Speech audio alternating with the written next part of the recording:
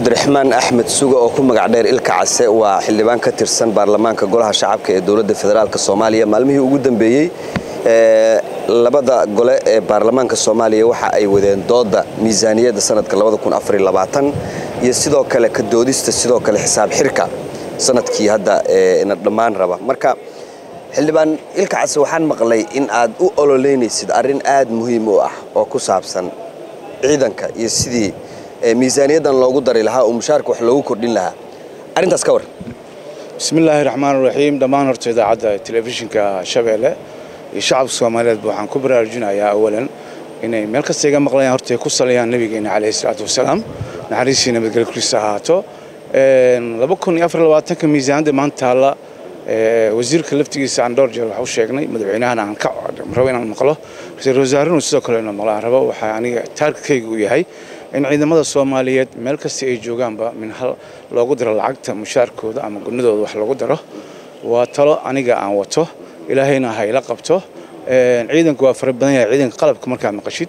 waa kiisii waa sii kala daran yihiin nimanka ku jira dhufayska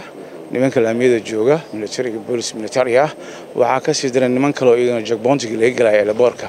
oo nabad sugidda ama nisaa u taqaaniin oo u n d b da ku xiran oo ilaa hadda aan waxaan dareemaya inaan mushaarkooda ila soo gaarin. Waxaan ku xoojinayaa u n d b da laftigeeda inay la socoto.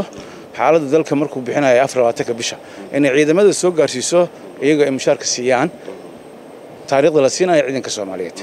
Marka taasna waa soo jeedinayaa waxaan kala hadlayaa u n ka qolada la dhahayo. Waxaan la hadlayaa madaxda ciidamada. Ciidamadu xaq bay u leeyihiin in loogu daro mushaarkooda.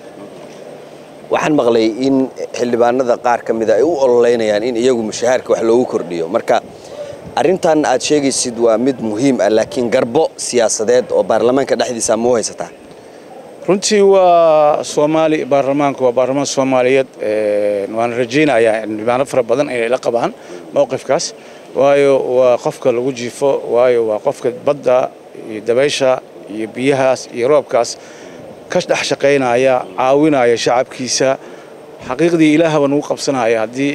dowladdayda ay karaamo rabto ay rabto in diin cafis lagu sameeyo ay rabto in caalamku uu noo soo jeesto xagga miisaanadda baankeena adduunka iyo meel kastaba waxaa talada ku jirta in faatixada aan ka qaadano ciidamadeenna mushaarkan loo kordhiyo aad baa umahadsantaha marka fariinta ugu dambaysa maxay tahay xildhibaan fariinta waxaan leeyahay soomaaliya ha noolaato ciidamada qalabka sida meel kastay joogaan qulubtooda khayr ha u sheegaan dalku waa ka baxayaa gaajada dadka u horeeya la xaqiijinaya ee wax loo helayna waa idinka insha allahu tacaala biidni kariim aad baa umahadsantaha xildhibaan thank you